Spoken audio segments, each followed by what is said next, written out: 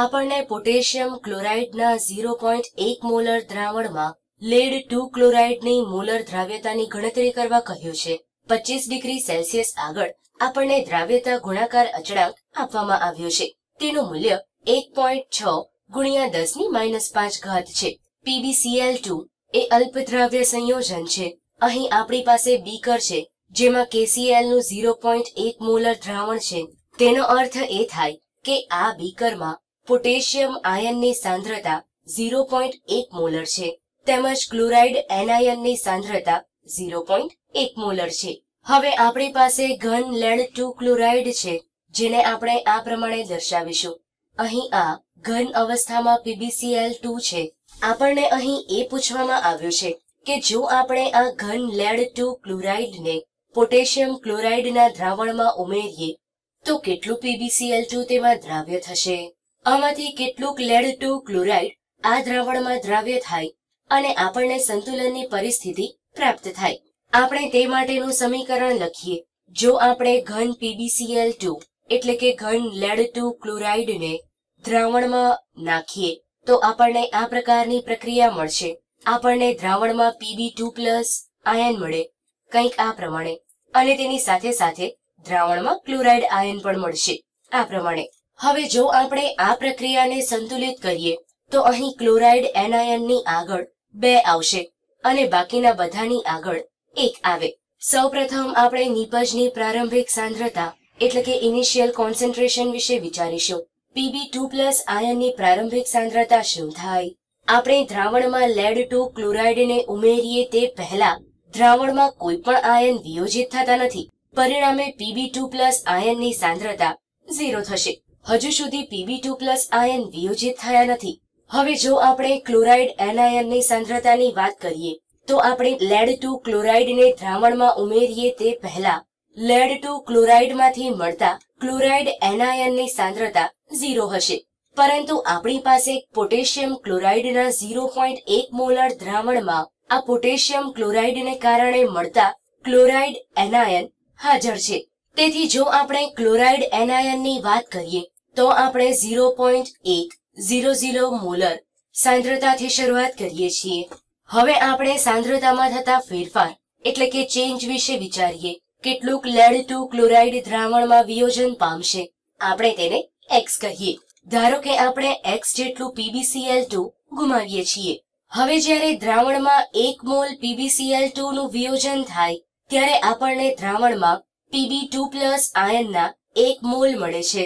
તેથી જો આપણે પીબીસીએલ ટુ માટે એક્સ ગુમાવતા હોઈએ, તો પીબી ટુ પ્લસ આયન માટે એક્સ મેળવીશું. તેવી જ રીતે જ્યારે પીબીસીએલ ટુ ના એક મોલ દ્રાવણમાં દ્રાવ્ય થશે, ત્યારે આપણને ક્લોરાઇડ એનાયનના બે મોલ મળે છે. પરિણામે આપણે દ્રાવણમાં ક્લોરાઇડ એનાયનના બે મોલ મેળવીશું. તેથી બે એક્સ હવે જો આપણે આ પ્રશ્ન માટે સમાન આયન એટલે કે કોમન આયનની વાત કરીએ તો તે ક્લોરાઇડ એનાયન થશે, કારણ કે આપણી પાસે તેના બે સ્ત્રોત છે. તેનો એક સ્ત્રોત પોટેશિયમ ક્લોરાઇડ છે અને બીજો સ્ત્રોત લેડ ટુ ક્લોરાઇડ છે. હવે આપણે સંતુલન, એટલે કે ઇક્વિલિબ્રિયમ આગળની પરિસ્થિતિ લખીએ. સંતુલન આગળ નિપજની સાંદ્રતા શું થશે?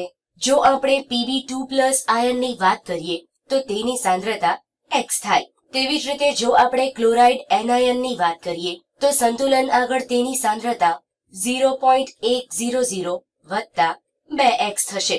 હવે આપણે સંતુલન માટેની પદાવલી લખી શકીએ. દ્રવ્યતા ગુણાકાર અચળાંક કે એસ પી બરાબર. નિપજની સાંદ્રતાનો ગુણાકાર, તેથી પીબી ટુ પ્લસ આયનની સાંદ્રતા. હવે આપણે અહીં ઘાત તરીકે આ આયનનો સહગુણક લઈશું. અહીં તેનો સહગુણક એક છે, તેથી આપણે ઘાત તરીકે એક લઈશું, ગુણ્યા ક્લોરાઇડ એનાયનની સાંદ્રતા. અહીં તેની ઘાત તરીકે આપણે ક્લોરાઇડ એનાયનનો સહગુણક લઈશું. અહીં તેનો સહગુણક બે છે, માટે આપણે ઘાત તરીકે બે લઈશું. હવે આપણે આ કેએસપી ની કિંમત મૂકી શકીએ. કેએસપી ની કિંમત એક પોઈન્ટ છ ગુણ્યા દસની માઇનસ પાંચ ઘાત છે.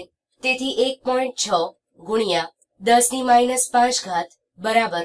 સંતુલન આગળ પીબી ટુ પ્લસ આયનની સાંદ્રતા જે એક્સ છે, માટે અહીં એક્સ અને તેની એક ઘાત ગુણ્યા સંતુલન આગળ ક્લોરાઇડ એનાયનની સાંદ્રતા, જે ઝીરો પોઈન્ટ એક ઝીરો ઝીરો વત્તા બે એક્સ છે, અને પછી તેનો વર્ગ. હવે આપણે એક્સ માટે ઉકેલવાનું છે. તેથી ડાબી બાજુ આપણી પાસે એક પોઈન્ટ છ ગુણ્યા દસની માઇનસ પાંચ ઘાત છે, બરાબર. જમણી બાજુ એક્સની એક ઘાત ગુણ્યા. હવે આપણે અહીં આનો વર્ગ કરી શકીએ. પરંતુ અહીં ગણિતને થોડું વધારે સરળ બનાવીએ. તે માટે આપણે ધારી લઈશું કે આ એક્સની કિંમત એ ઝીરો પોઈન્ટ એક કરતા ઘણી નાની છે.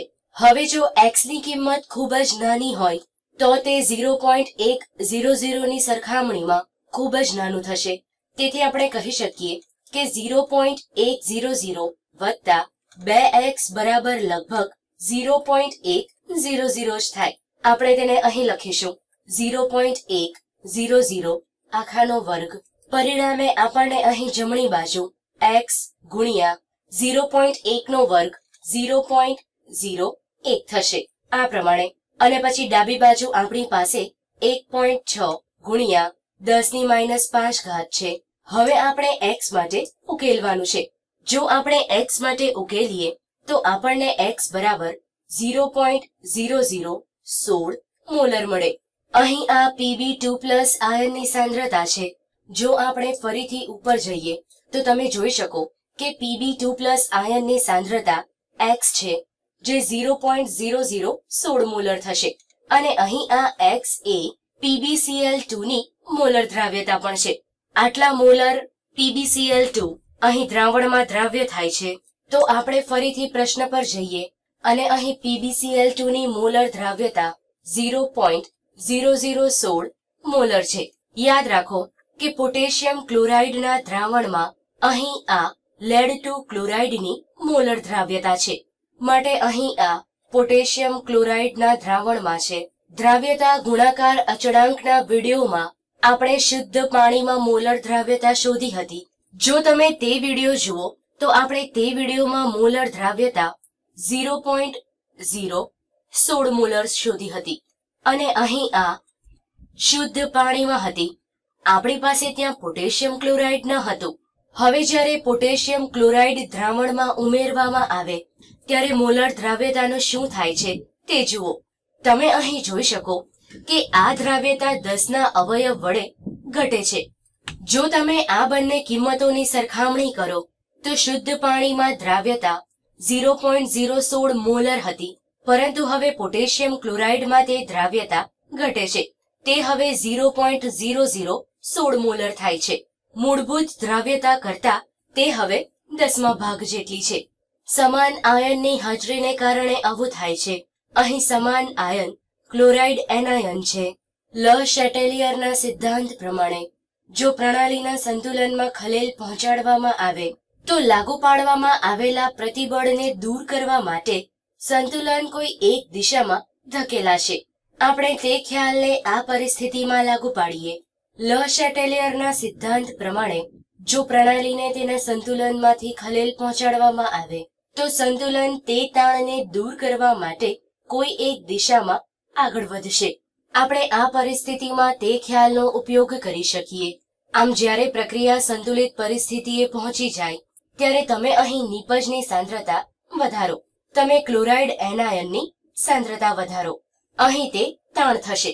નીપજની સાંદ્રતામાં વધારો એ તાણ એટલે કે સ્ટ્રેસ છે. હવે સંતુલન આ તાણને ઓછો કરવા માટે ડાબી દિશામાં ધકેલાય.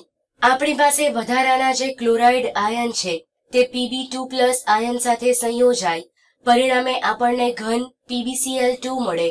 તેથી જ સમાન આયનની હાજરીને કારણે આપણે આ પીબીસીએલ ટુ ની દ્રાવ્યતાને ઘટાડીએ છીએ. યાદ રાખો કે આ કેએસપી નું મૂલ્ય બદલાતું નથી. તેનું મૂલ્ય હજુ પણ એક પોઈન્ટ છ ગુણ્યા દસની માઇનસ પાંચ ઘાત જ છે. પરંતુ સમાન આયનની હાજરીને કારણે આ મોલર દ્રાવ્યતાને અસર થાય છે. આમ સમાન આયનની હાજરીને કારણે અલ્પદ્રાવ્ય સંયોજનની દ્રાવ્યતામાં ઘટાડો થાય છે. આ પરિસ્થિતિમાં તે ઘટાડો દસમા ભાગનો છે. આપણે આ ખ્યાલનો ઉપયોગ અલગીકરણની પ્રક્રિયામાં કરી શકીએ. ધારો કે આપણી પાસે ઘન, લેડ ટુ ક્લોરાઇડ છે. અને આપણે તેમાંથી બધા જ ઘન પદાર્થોને દૂર કરવા માંગીએ છીએ. આપણે તેનું ફિલ્ટર કરીએ તે પહેલા આપણે તેમાં સમાન આયન ઉમેરી શકીએ. આપણે ક્લોરાઇડ એનાયનનો સ્ત્રોત ઉમેરી શકીએ. સમાન આયનની અસરને કારણે ઘન પીબીસીએલની દ્રાવ્યતામાં ઘટાડો થાય.